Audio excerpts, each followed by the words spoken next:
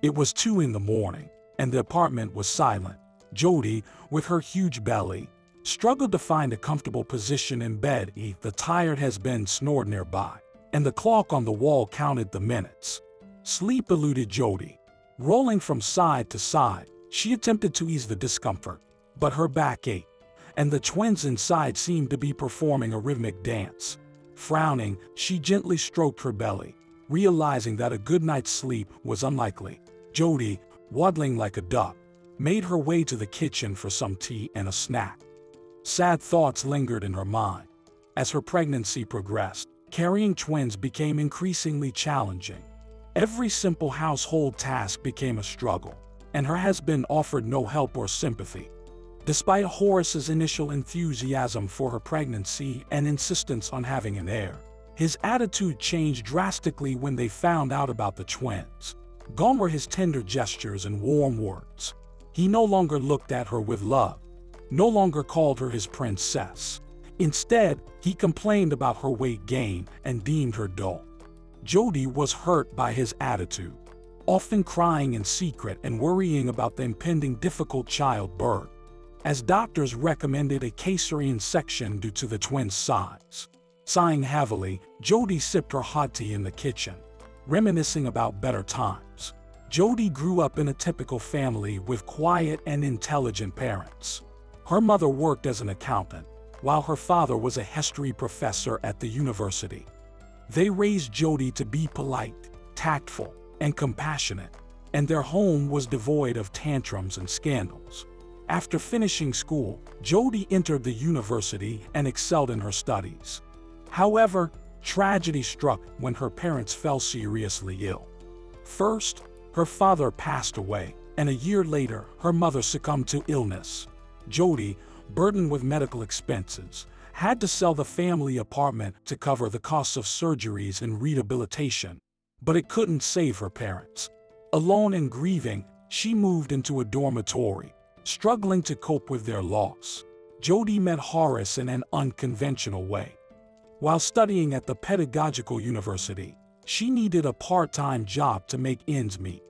With no one to support her after her parents' death, she placed an ad online offering assistance in preparing for foreign language exams. Jody was proficient in French, thanks to a dedicated high school teacher who instilled a love for the language in her. Beyond her formal education, she had taken additional lessons from a tutor and knew the subject thoroughly by the time she entered university. Setting a modest fee and honestly admitting her limited experience, Jody attracted Horace's attention. He, working as a manager in a company dealing with foreign clients, needed to communicate in basic language to assist them. The young couple immediately liked each other, Jody was initially a bit shy but made an effort to explain clearly and eloquently. Soon, Horace began to understand and even speak a bit of French. He paid more than the agreed upon amount, praised Jody, admired her knowledge, and looked at her with intense emotion. In those moments, Jody's heart seemed to skip a beat. She blushed and veered off topic. Gradually, their relationship evolved from professional to friendly and then to romantic. Jody appreciated Horace's solidity and confidence, while he admired her purity and innocence. To him, Jody was like an unfolding flower youthful and beautiful and he desired to be her first. Additionally, Jody enjoyed organizing various celebrations. Their university had its own team for such events, and the creative young couple knew how to captivate and entertain partygoers, earning them frequent invitations and decent pay. Soon, they got married, and Jody moved into her husband's apartment. Initially, everything was wonderful. Jody quickly adapted to domestic life, becoming a good homemaker who cooked delicious meals and took care of her husband's needs. However, there was one thing that bothered him Jody's attendance at traditional classes. He particularly disliked her occasional banquets. Horace felt intense jealousy towards her classmates, especially if she lingered after lectures or went for a brief coffee with them. Horace would erupt in fits of jealousy, arguing with her. He almost immediately convinced her to switch to distance learning. Darling, just think about it. Why do you need to go to lectures every day? It's a waste of time. I'll find you clients, and you can teach from home. Attend lectures only during exams a couple of times a year. You'll still get your diploma. Besides, think about the peace of mind it will bring me.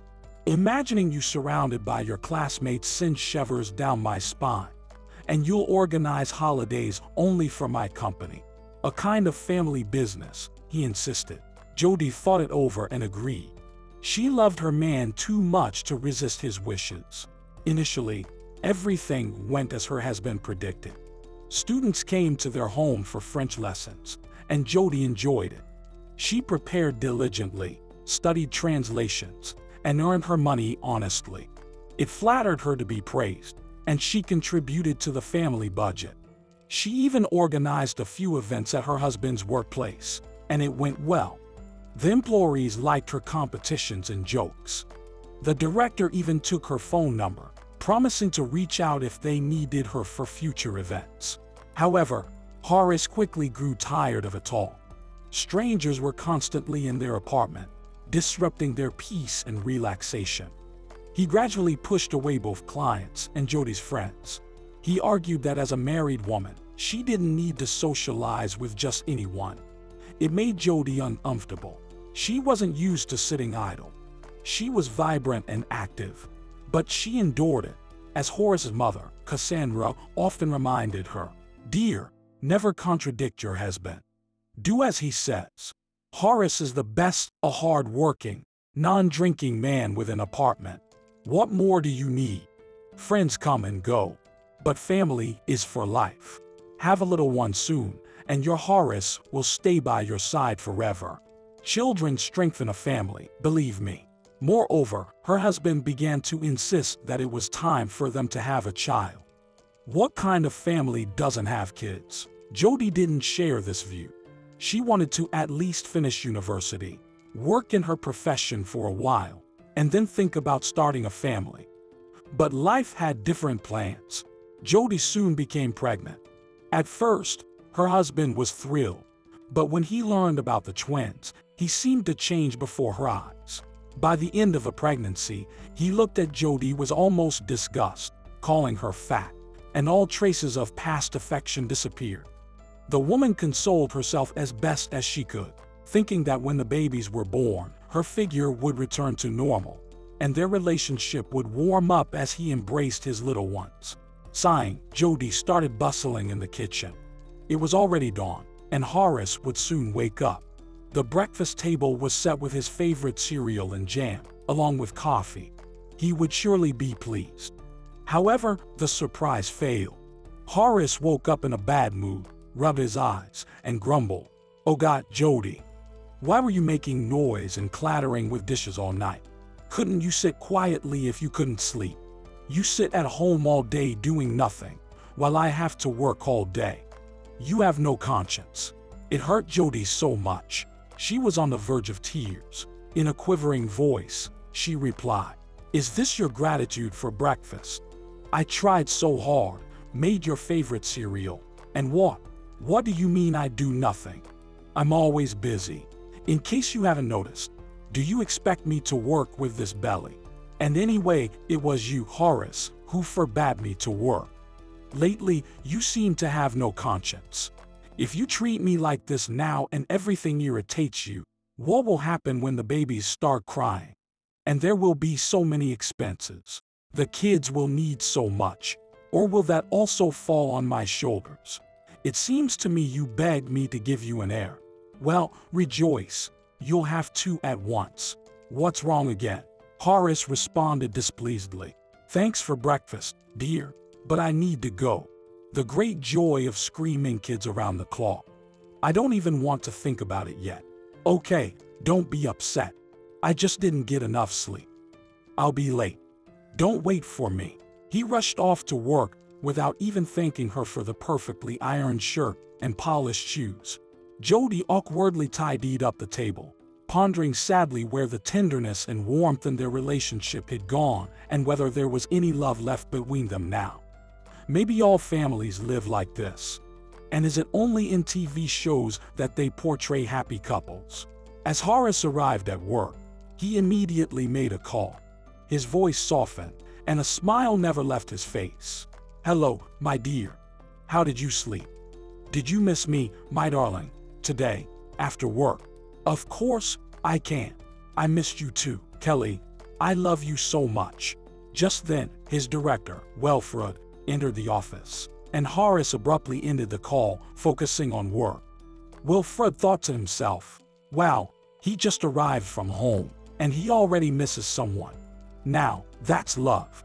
But when Wilfred accidentally bumped into Horace after work, he was stunned. Horace was walking arm in arm with a young intern from their department, Kelly, and that was definitely not his wife. Suddenly, the director remembered that in the morning conversation, Horace mentioned someone named Kelly. But his wife's name wasn't like that. She had organized several events for their company, and he would surely recognize the beautiful and statuesque, red-haired Jody. Does this mean that Horace is cheating on his wife and having an affair with a colleague? A very unpleasant situation. From that day on, Wilfred began to keep a close eye on Horace, and his suspicions were confirmed. When his wife called, Horace grimaced, spoke sharply, reluctantly, and quickly. But when Kelly approached his desk, everything changed. Horace immediately melted like ice cream and looked at her with loving eyes. The lady dressed vulgarly and provocatively, deliberately luring a prospective suitor into her feminine nets. Wilfred had reprimanded her several times about her appearance, but it worked flawlessly on Horace. He drooled at the sight of the fatal beauty.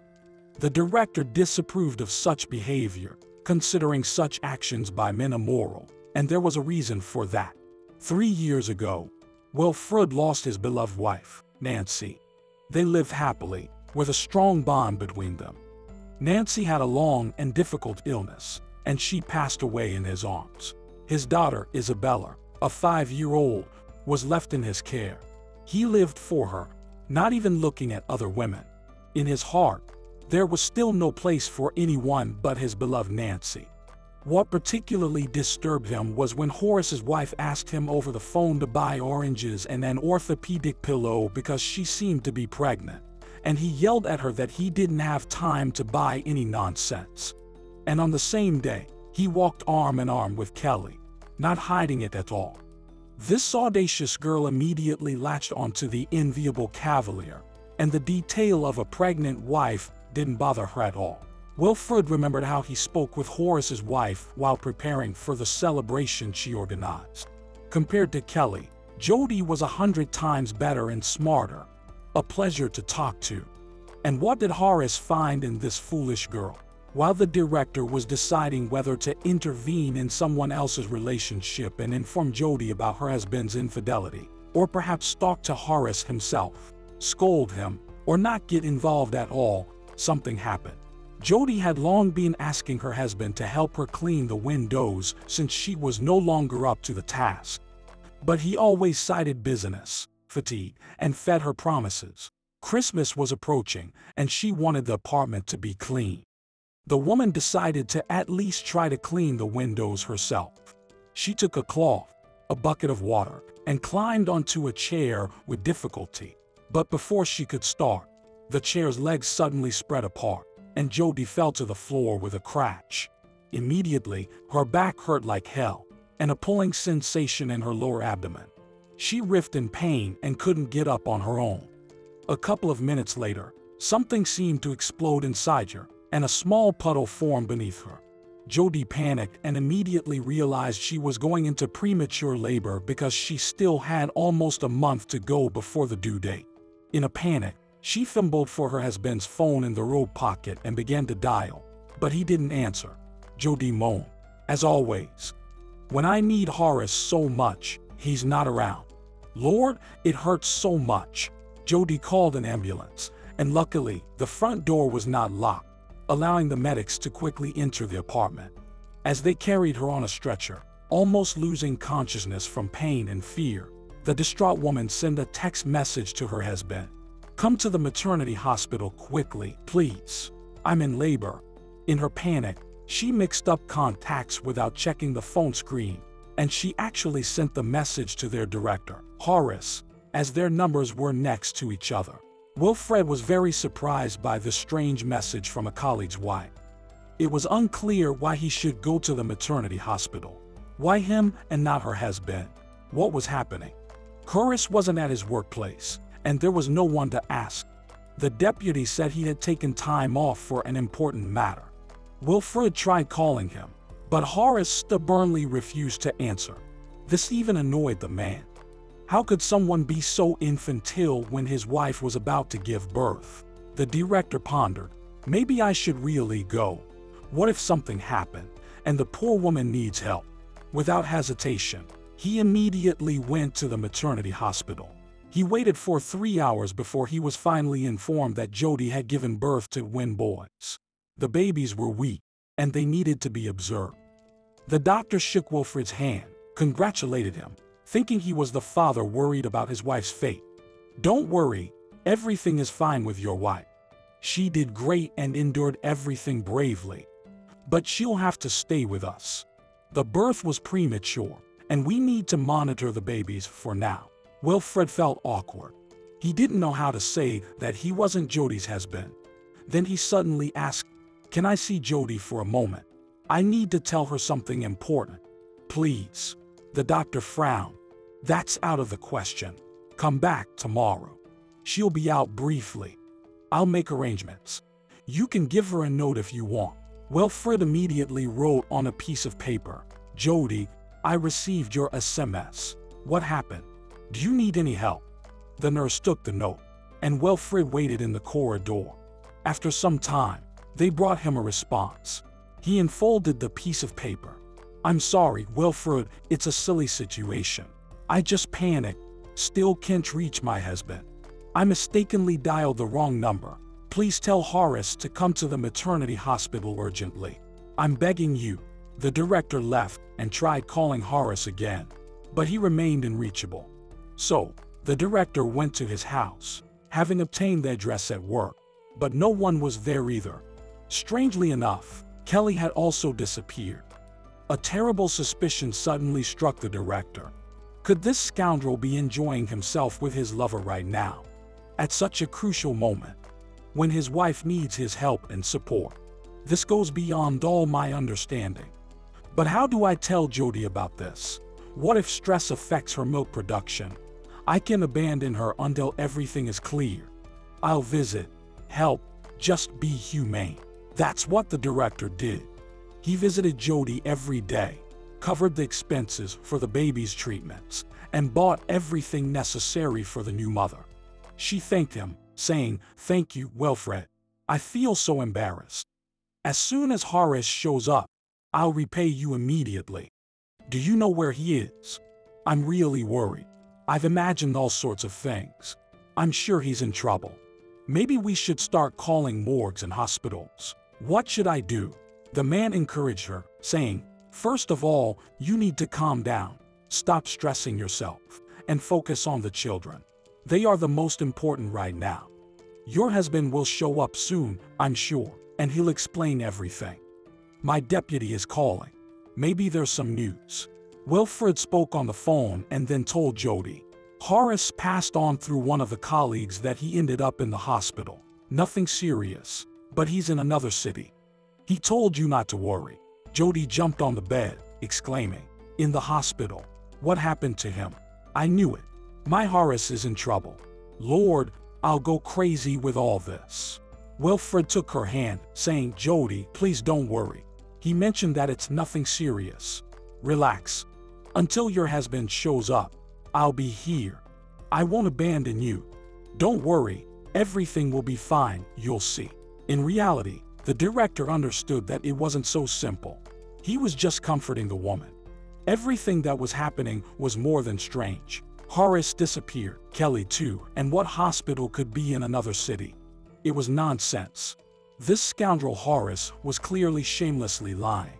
For a whole week, Wilfred visited Jody, and they talked a lot. The man sadly thought, such a wonderful woman doesn't deserve such a vile person as Horace. Ah, if only she were his wife. He wouldn't trade her for a lover, but would cherish the warmth of a family heart. Doesn't Horace understand what he's losing? Over these days, Jody unintentionally grew attached to Wilfred and compared him to her husband. He was so intelligent, tactful, and kind-hearted. He cared for her, even though she was a complete stranger to him. And her husband. How could he act like this? Even if he was in the hospital, couldn't he call? Let them know about himself. How could someone be so indifferent and callous? As if he didn't care about her or their sons at all. The babies were the only solace for the woman during this difficult time. She couldn't take her eyes off them, constantly held her beloved little boys close to her chest, and whispered to them tenderly, My darlings, how much you resemble your dad. Only your dad has disappeared somewhere. Well, never mind, he'll be found, come home, look at such handsome boys, and immediately fall in love with you. How can anyone not love such sweet little boys? The day of discharge from the maternity ward arrived, but Horace never showed up. Wilfred took charge of everything once again. He helped Jody get home with the babies, carried them into the apartment. Jody looked around and couldn't comprehend. There were no husband's clothes on the hanger, no shoes in the hallway, and no laptop, TV, or money in the box, not a single cent. Horace took all their savings. Jody clutched her heart still not understanding anything, and went to the kitchen. And only there, on the table, she saw a note. I'm leaving you. We're getting divorced. I'm sorry, but it has to be this way. That was it, no explanations, nothing. Jody collapsed onto a chair, started sobbing loudly. I don't believe it.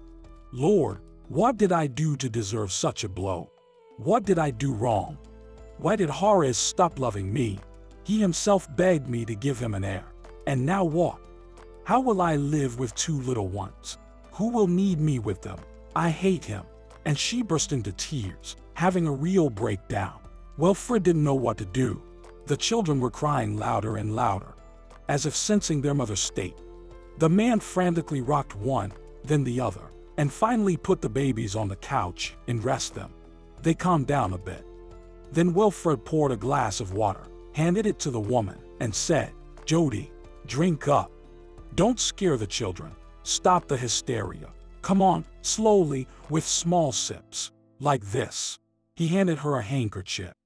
The woman quieted down, wiped away the tears, only softly sobbing. Then, as if coming to her senses, she rushed to the children, closed the bedroom door, fed, and immediately they fell asleep. The woman returned to the kitchen, Wilfred sighed, sat across from her, and took her hands. Jody, I need to tell you something. There's absolutely no blame on your part for Horace leaving. Believe me, I've seen him several times with another woman, a colleague from our company. They're lovers. So don't torment yourself. Don't blame yourself. Your Horace is just an idiot. I'll never understand him. Jody covered her face with her hands. I can't believe this. I loved him so much, and he. I tried to be a good housewife. I did everything myself until the very end. Hot lunches, iron shirts, everything for my beloved. And him. How painful this is for me now. How terrifying. For what? Why did Horace betray me so maliciously? Forgive me for unloading all this on you. You're not obliged to fuss over me like this. You surely have your own matters. Your family is waiting for you. I don't know how to live. If not for the children, I'd probably just lie down and die. Jody cried again, unable to cope with the overwhelming grief. The man approached, embraced her, and stroked her shoulders. He felt unbearably sorry for this wonderful woman, whose husband turned out to be such a scoundrel. He spoke softly in her ear. Jody, try to calm down, for the sake of the little ones. They feel everything and will cry too. Your milk might disappear. Don't worry about anything. I'll always be around. Here, take this money. It should last for a while. Look at it from a different perspective. You're not alone. You have two sons, and that's already a real family. They'll grow up, become your support and anchor. Let your husband regret losing such a woman. You're amazing. I remember your banquets. Once the little ones grow a bit, you can get back to what you love, and I'll help. But for now, don't think about anything and live for the children. The pain will fade with time, subside. I know what I'm talking about. I lost my beloved wife three years ago. Now I'm raising my daughter, Isabella. She's my reason for living. Together, we'll get through this. You have to believe. After the dark times, the bright ones will come. You'll see. Jody forced a grateful smile. Thank you, Wilfred, for your help, for your support. It's crucial and necessary for me right now, like hair. You're right, I need to keep living, pull myself together. The little ones are innocent in all this. You probably need to go now, right? You have a child at home too. Come to visit me more often with your daughter. It'll make me happier, and you'll be calmer. I'll be waiting for you eagerly. I've never met men like you, I swear. My deepest bow to you. They said their goodbyes, and Jody went to her sons, contemplating the director's words for a long time. After all, he was right in many ways. It was necessary to eradicate this scoundrel from her mind and her life.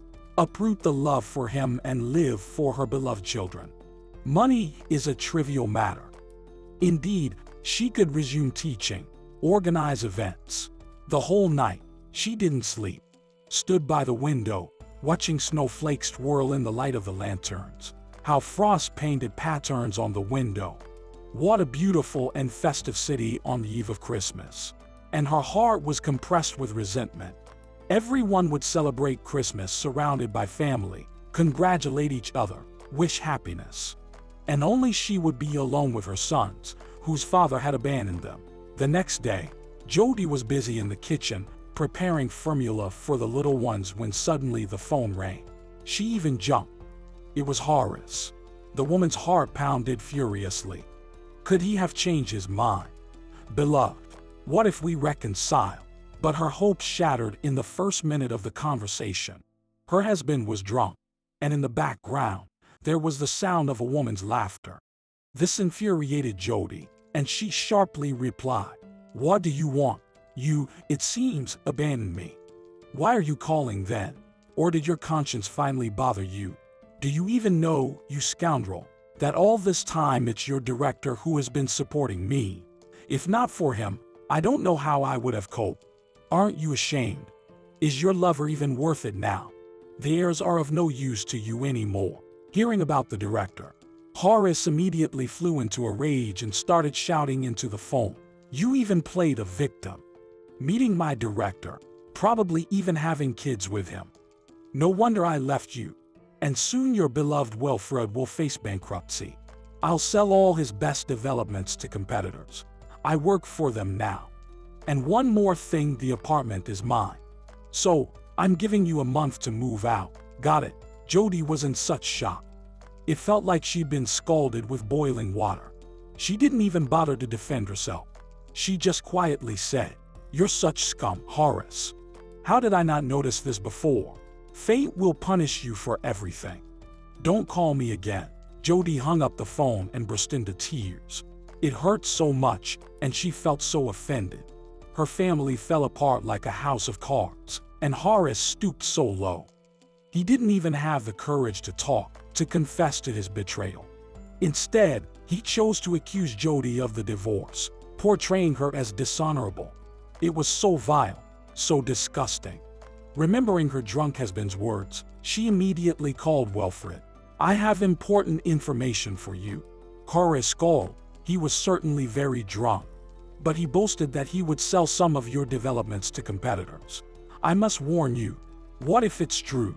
And he also told me to leave his apartment. Do you know where I can rent a place inexpensively? Wilfred immediately responded. I understand you, Jody, thank you. I'll check this information. Pack your things and get ready. I'll come for you. Everything will be fine, I promise. Jody was extremely surprised, but did as Wilfred instructed and waited for him. He arrived quickly, took her suitcase, one of the little ones, and commanded, You better not stay here. Who knows what your deranged ex has in mind? Especially with Christmas approaching. I'm taking you and the kids to my place. And that's not up for discussion. I have a big house. There's enough room for everyone. I'll settle you and the kids in a cozy room. I'll prepare everything for the little ones. I talked to my daughter. She doesn't mind, even welcome the idea. She gets bored alone. After all, I'm often not home. So, we're leaving. Please, don't regret anything. This scoundrel is not worthy of you. He doesn't appreciate love. Let him live as he pleases. Jody was bewildered.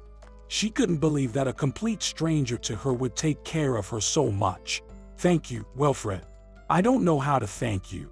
And won't my kids be a bother to you? After all, two infants. Wilfred sighed.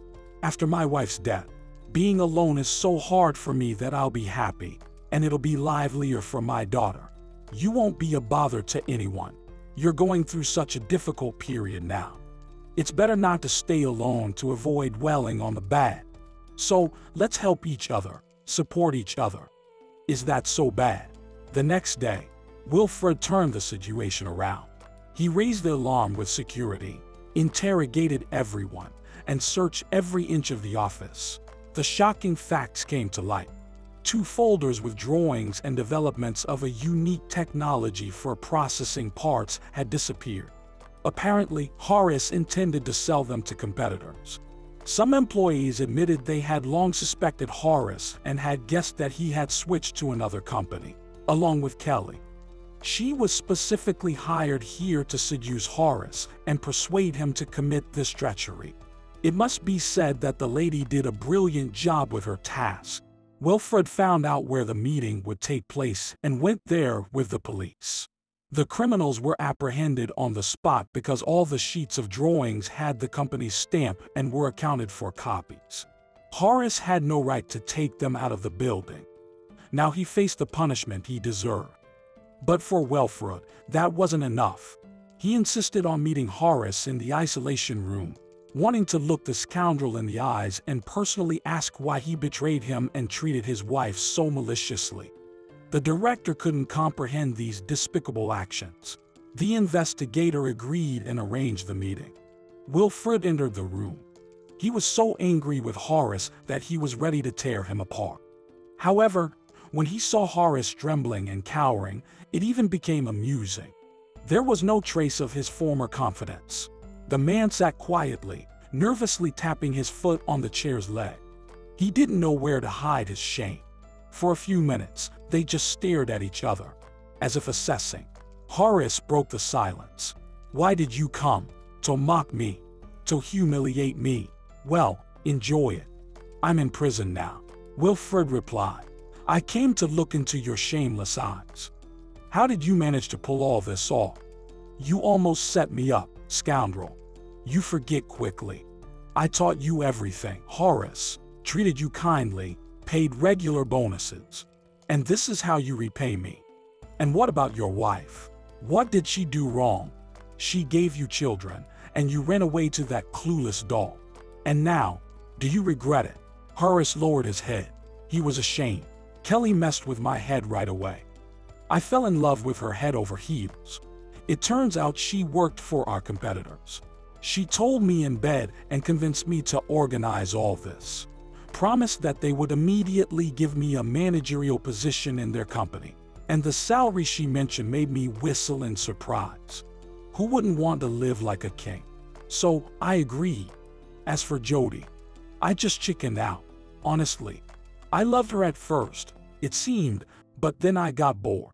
I even asked her to have a child for me. It seemed so cool to have a son. But when I found out about the twins, I felt uncomfortable. I wasn't ready to handle two children.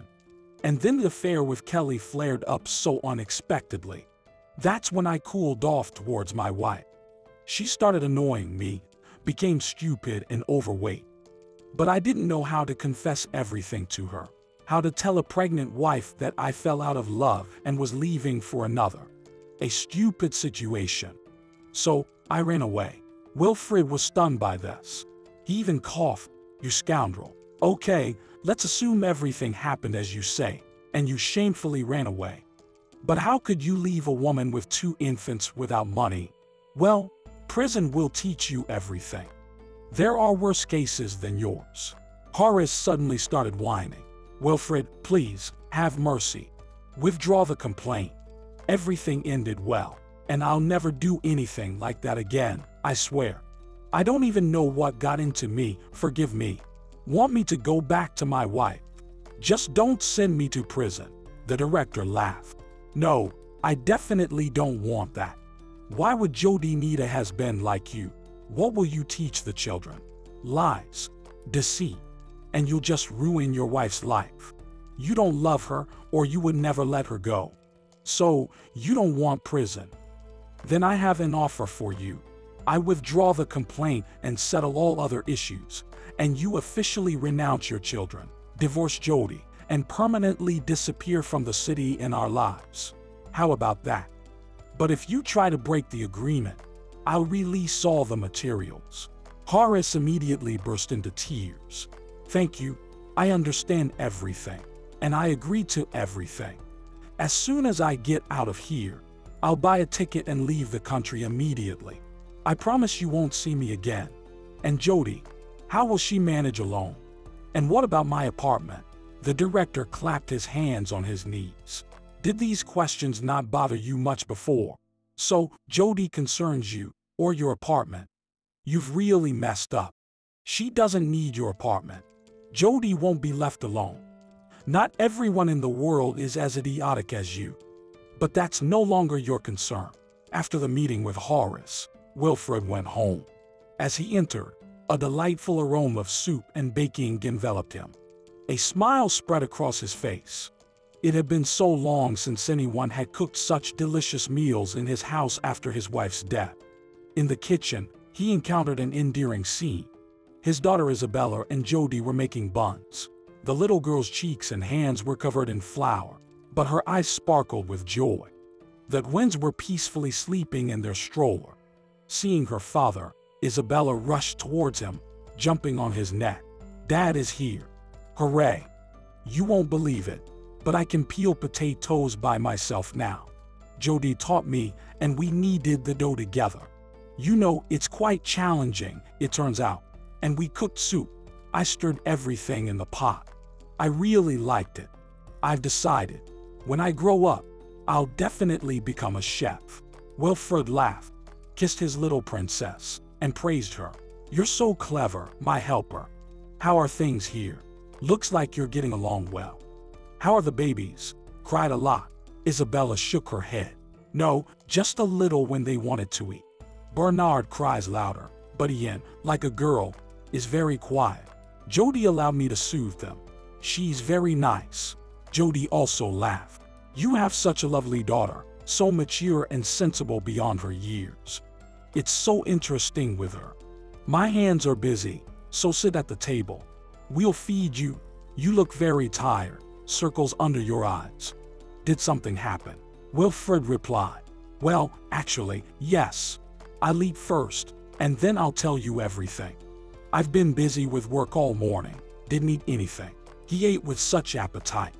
Everything was incredibly delicious. He praised Jody. Jody, you're a delight. No one has fed me so deliciously in ages. Thank you, Isabella. I bought you a new album and paints. Go, dear, Draw. Jody and I need to talk. The understanding girl nodded and went to her room.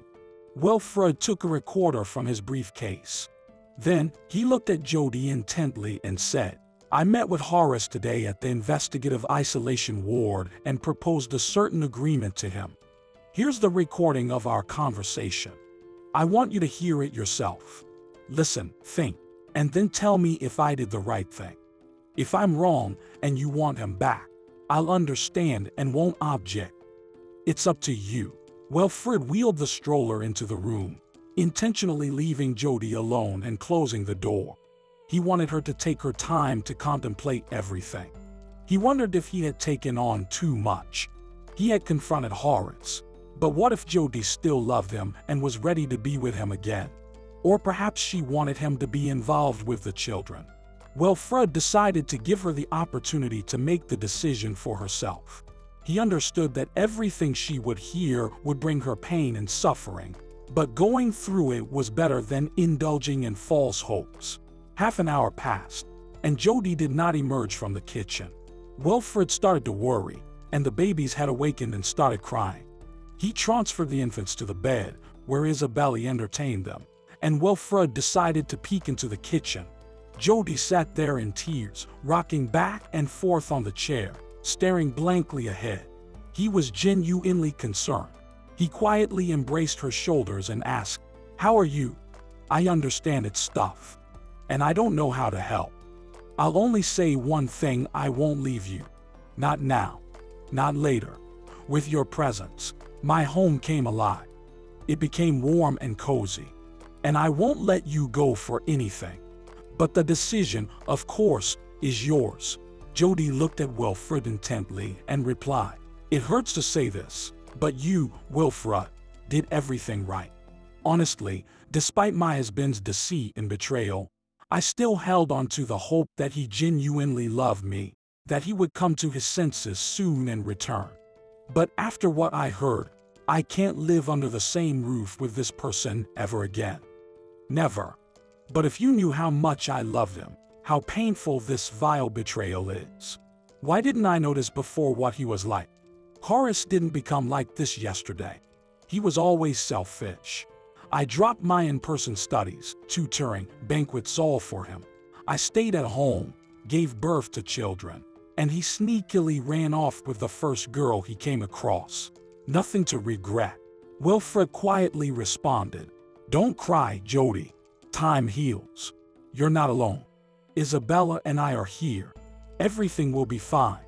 We just need to get through this. Come, the little ones are hungry, and our daughter is trying to cheer them up as best as she can. Jody smiled through her tears and said, What a blessing that I dialed the wrong number that day. Thank you for being there and supporting me so much. Even my ex-husband never did as much. I'm so grateful to you. From that day on, Jody's life took a new, different, interesting, and fulfilling turn. Christmas was warm and family-oriented. They decorated a huge Christmas tree together, watched a concert, enjoyed delicious food, and, in the early morning, placed gifts under the tree for Isabella. Jody's heart felt a bit warmer, lighter. She realized that she wasn't alone on this earth that she was welcomed here, and things became calmer and easier. Initially, it was undoubtedly challenging for her to manage three children. Wilfred made an effort to help, preparing meals on weekends, doing the dishes, and happily playing with the kids. His parents also pitched in, treating Jody's little ones as their own grandchildren. They were delighted that their son had finally recovered from the loss of his wife and found a family again. So, they occasionally took the kids, allowing Jody some time to relax. Jody often pondered how life could be so remarkable and unpredictable. Her biological father had rejected the children, never even holding them, while Wilfred and his parents cared for them, playing with the little ones. People could be so different, some devoid of any compassion, while others were full of love and empathy for others. As Bernard and Ian grew, they became familiar with Wilfred, smiled, and their daughter came to life. It was evident that she enjoyed the newfound joy in the house. For a long time, Jody and Wilfred were simply friends, having become kindred spirits. However, there was no talk of closeness or love. Though Wilfred was fond of her, he didn't want to pressure her and decided to be there for her, offering support. He understood that Jody was going through a tough time, having experienced her husband's betrayal, with small children to care for. She needed time to recover and start a new life. Initially, Jody devoted herself entirely to the children, giving them all her time. There were many responsibilities, but she still managed to pay attention to Isabella. When the twins turned three and Isabella was already in the third grade, Jody decided to focus on herself. She returned to university, refreshed her knowledge, and resumed her favorite activity teaching French lessons at home. Unlike Horace, Wilfred encouraged her pursuits, praising her for not sitting idly and continuing to grow. Isabella benefited from this, now being the best in her class in French. Over the years, she grew attached to Jody. loving her as a mother and looking after Bernard and Ian like an older sister. Meanwhile, life had not been kind to Horace. Kelly left him immediately after he was sentenced, and he went back to his mother's homeland. He was left out of the loop of life. His mother scolded him for abandoning his family and losing his job, and Horace increasingly drowned his sorrows in alcohol.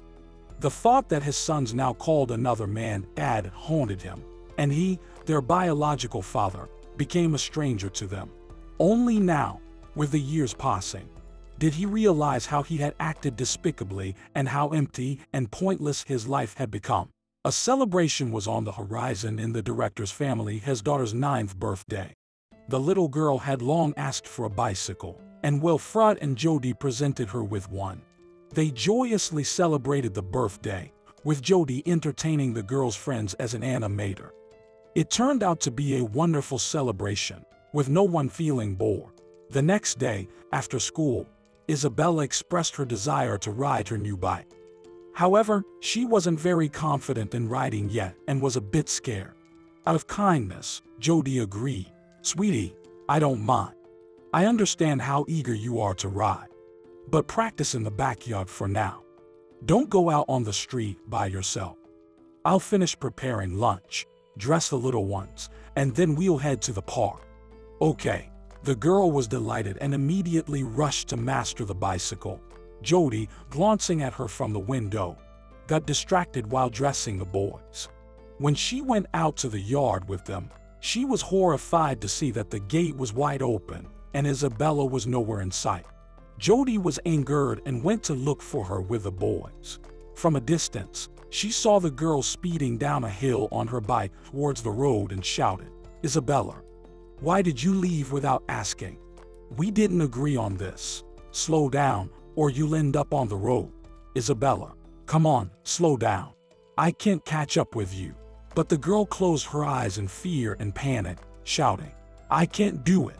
It's not working. She was searching for the brake with her foot, but it was on the handlebars. In an instant, her bicycle darted onto the road, and a car was speeding straight toward her. Jody screamed in horror, managing only to yell to the boys, Please, stay in place. Don't follow me. And she rushed to save the girl. Miraculously, she managed to push her away, but the bumper caught her firmly. Chaos ensued. A crowd gathered. The boys screamed and cried, trying to break through. Isabella was also wailing, wiping her bruised elbows and knees, and Jody attempted to stand up. But the intense pain in her back prevented her. Shaking hands, she dialed Wilfred's number. Come home quickly. I've been hit by a car. The kids are alive. Wilfred immediately dropped everything and rushed home. On the way, he noticed a crowd of people, an ambulance. Inside the car on a stretcher lay Jody, while all three children sat on the seat, clinging to her and crying louder than each other. Isabella sobbed. Jody, forgive me, I didn't mean to. I'll never do it again. Does it hurt a lot? Are you going to die? In this chaos, Wilfred barely figured out what was happening. He immediately called his parents, explained everything, and asked them to take care of the children.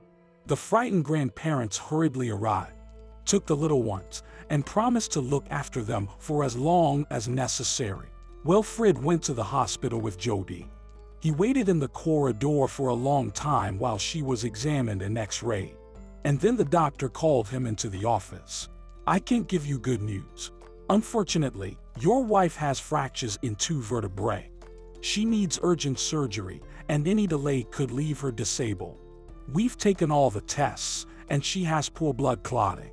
She will likely need a transfusion. However, Jody has a rare blood type, and finding donor material will be challenging. Wilfred exclaimed. Good grief. My late wife had the same blood type. Can such coincidences happen? The doctor pondered. If you have children, you can compare the blood type of your child with that of your second wife. It will be immediately apparent whether they are relatives or not. But that's for later. Are you ready to pay for an expensive operation? Wilfred was trembling. In that very second, he suddenly realized how much he loved Jody and how afraid he was of losing her. He almost shouted, Of course, I'll pay for everything. Do it. Save her, I beg you. When they were taking Jody away on a stretcher, Wilfred ran up to her, hugged her tightly, his eyes filled with tears, and he sincerely whispered to her, Don't be afraid of anything. I love you, do you hear me, Jody? I love you more than life. Don't you dare die. I can't live without you. We can't. I won't go anywhere. I'll be with you. Jody cried. How long she had waited for these words. How she hoped that someday she would hear them. She whispered, I love you too, Wilfred. Thank you for everything. You're my guardian angel. I'm sorry I didn't watch over Isabella. The man replied, It's thanks to you. You saved her life. You threw yourself under the wheels to save her. Jody was taken away, but Wilfred didn't sit idle. He called blood transfusion centers, searching for blood of the right type. Luckily, they found the blood, and the transfusion was successful. For four long hours, he couldn't find a place for himself while the operation was underway. He prayed to the Lord as best as he could for Jody to survive. He blamed himself for not telling her once in all these years how much he loved her and how afraid he was of losing her. Finally, the doctor came out and reassured him. It's all over. Don't worry. We acted in time, and I'm satisfied with the results. Go home. They won't let you see her today. She's in the intensive care unit. Come back tomorrow. The surgery was successful, and Jody quickly recovered. Wilfred and the children visited her every day. He postponed all his business and managed the company from home. Isabella's blood was tested, and it was compared with Jody's blood type. It turned out they were not strangers. They were most likely aunt and niece. Genetic testing confirmed this. Everyone was shocked, especially Jody. She had grown up in an ordinary family, and her parents loved her very much. It couldn't be that she was adopted. Unfortunately, her parents had already passed away, and there was no one to ask. Wilfred wasn't discouraged. He had a determined character and had to get to the truth in any matter.